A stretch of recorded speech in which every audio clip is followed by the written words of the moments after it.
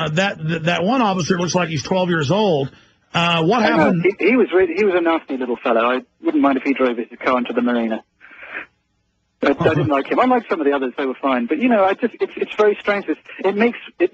You know what the situation does is it makes bad people out of good people. Operative You know, word, little fellow. He has a Napoleon complex, probably. Yeah, I, I, I didn't like him at all. He's a bully.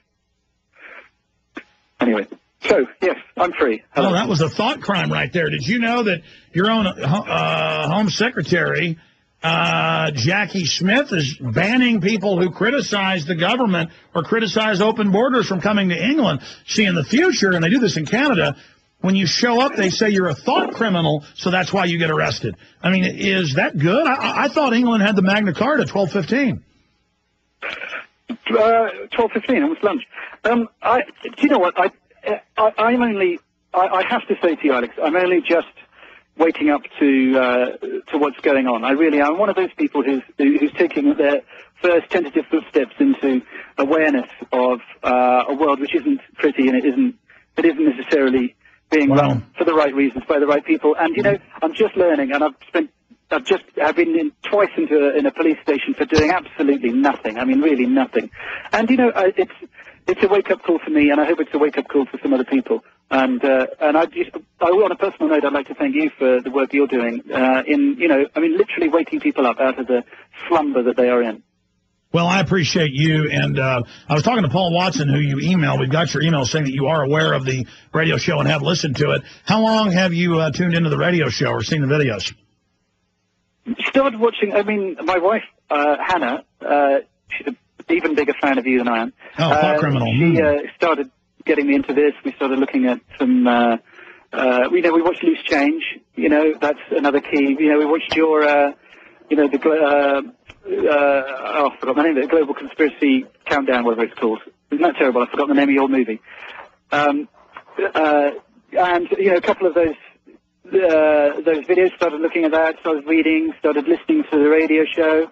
You know, you've, you've got some really interesting guests on, and you know, you, you hear some new ideas and different perspectives, and you know, it's, it's. I mean, thank God we've got the internet now. I don't know how long we're going to have it for in the in the way that it, you know, uh, the level of freedom of communication we have at this second. I don't know. That's that scares me. But um, you know, at the moment, it's a, this is a this is a time of, of awakening. I think for the for the for everyone. I genuinely believe that, and I don't know how many people are going to, you know, wake up. I'm sorry, I keep saying that, but it is the appropriate metaphor, I think. Uh, I don't know how many are going to, and let's just hope it's enough. Well, the London Guardian needs to make a big deal out of this because, you know, we have the Times of London, we have Haaretz, we have all these big papers. In fact, I'm going to read those later on air. I thought I'd printed the Haaretz story. Just Google Bilderberg and Haaretz, or uh, and it's one of the stories down. Uh, and it says global elite meeting to chart future of world government. Uh, all these news articles I'm reading this morning and today, they're now admitting it. This is a big deal because in the past, I had the New York Times just eight years ago say I was insane. It didn't exist. Bohemian Grove didn't exist. Bilderberg Group didn't exist. When the groups had already written books and bragged about how they existed, and German presidents had written about it, and prime ministers had written about it, to, to, to, to now have it be all over the European press, all over the British press, but not in the U.S. press.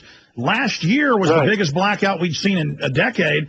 Uh, newspapers showed up but said they weren't allowed to really write about it, so there was no U.S. press. Finally, Politico this year uh, did a Bilderberg report dealing with my film, The Obama Deception, and how uh, Barack Obama uh, how Barack Obama was clearly there and how they uh, helped kidnap the, the airplane full of media, telling him he was going to Chicago on his plane, but he didn't, and he went to Brookstreet. Yeah. I mean, not Brookstreet. He went to the Chantilly, Virginia Marriott. And Brookstreet was 2006. So I, I would hope you get some of that in your article. There's a history of intimidation, shooting at Jim Tucker, that there's a history of threats, uh, and that, and that, and that, what does this say about the global elite that they're meeting in secret, setting the financial future? You know, uh, the Bilderberg Group has leaked, and, and the BBC has even reported that, that they set up the European Union covertly, that they're Yeah, setting up. yeah. I mean, this is a fact, sir. This is the group. If we arrested these people right now and they've committed public crimes, uh, most of them have, or at, at least started an investigation, the whole New World Order could end. Yeah, I mean, what's what's fascinating, and it's such an obvious point that it's been made many times, uh, but it's worth making again, is if these guys were doing something benign, if they were trying to organise a softball game or how to cure cancer, they'd do it in an upstairs room for Starbucks. You know, there's no need to hide good acts away from the public. There's no need to hide good intentions. You know, it's it's it's such an obvious point, but it, I don't, you know, they've got a police helicopter flying around and there's there's tinted windows and and you know I, why? It's it's well, we all know why, but if if it was all so benign, I get the feeling it would be, you know, just a little bit softer around the edges. How would you like being shot at? Well, it's, you know, I, I, I pretty much got my fingers crossed that doesn't happen. Well, they do that. They also call your wife just in case they do it, because this happens to everybody's wives. They'll call up and go, "Hi, is uh, hi, is uh, Charlie there?" And your wife will go, "No, no, I'm serious. I'd, I'd call her before they do it." Sorry, I'm, not, I'm, not, I'm laughing, but I mean they do this to most reporters. No, it's serious. They'll go, but I, I understand. But I, it sounds like a joke when I do it. The point is, "Hi, is Charlie there?" No, he's not. Leave a message. Well, yeah, who's this? Well, this is his wife, Mrs. Skelton. That's impossible. I'm pregnant with his baby, and and and and, we're and, and we and you know we're engaged. And then and then the woman will start crying and saying, "Well, I'll give you my you know." And then, and then they'll call up. If you have a little dog in the backyard, they'll say, I'm watching your little white dog right now. You're like, excuse me? And then your wife looks out the window and the dog's there and goes, yeah, and that's when I'm going to stab you and rape you. So, I mean, it's the government. They're watching the dog while they do it. I mean, it's real, bud. These people call your call your women up. So I just want you to know these are hardcore criminals you're dealing with. I mean, take Zbigniew Brzezinski wrote a book two years ago bragging that what we already knew, he funded Pol Pot to kill 35% of the Cambodian population. These guys, these guys, Mr. Skelton, write books bragging about who they've murdered.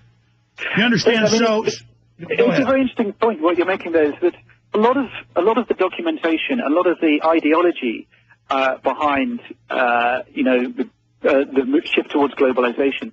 It's it's been printed. It's open, It's out in the open. It's kind of just so big. The point I was making, I think, in one of my pieces, it is so big and so much out in the open. People don't see it. They're not reading the right books. They're not seeing the thinking that's behind it, which is, you know, it's been published. It's, you know, there are papers, there are books. You know, uh, the the ideology is out there for everyone to see. And also, you know, if you can for one moment take your eyes off, uh, you know, American Idol and the X Factor, uh, you can you can see changes happening ever so slightly, incrementally, all the time around you. But the problem is, you, you, people just don't have to. It's becoming. I, I genuinely think it's psychologically impossible for a lot of people to notice and to think and to and to see. I, I, I do, and it's that's one of the great horrors. It's, they've made they've rendered us stupid. Well, most reporters get those calls that, that go actually go to Bilderberg. So I'm just giving you a warning to let her know since you're online to just well just laugh it off when you, they call. Your warning, Hannah. Okay, oh, okay, so she's listening. Now, now uh, we appreciate your time. Do you have a website, books, writings, stuff that you want to point people at? Um, uh, uh, apart from yours, um, no, no. Do you know what? Um, uh, you know, I might start writing some more things on this subject. It's the first time I've, this is the first time I've tackled this subject in any way. And, you know, it's certainly, I didn't set out to Athens thinking I'd be detained twice by the police. So, I, you know, I might write some more. Then again, I don't want my dog threatened. So, you know, I might just go back to writing jokes about it. Well, no, they're not threatening the dog. They, they will tell you, oh, you're, you're there, just made yourself, it looks like, is that coffee or tea you're making there? Hello? Excuse me? You got the, and you're like wondering how they're right. looking at you. And it's like, that's right, bitch. I'm going to stab you and rape you to death. How's that sound? So I'm saying, and they'll say it just like that. So I'm just trying to give you an idea who these people are. This, I'm telling you, Mr. Skelton, I've been down the rabbit hole. You're starting to go down it. And, and, and, and you've, you've opened up your first step into a wider world. And there's good things and there's bad things about it. But I, I'm, I'm just letting the listeners know, too, for folks, you know, you ever wonder about the New World Order and who they are? These are murdering criminals. And these are the bankers, we have this from inside Bilderberg, that are engineering the financial collapse. We said that three years ago today. We said they were going to engineer it, how they would do it, what they do with the stock market. We broke it all down. They rule the planet. And so we are here. This is happening. This is going on right now.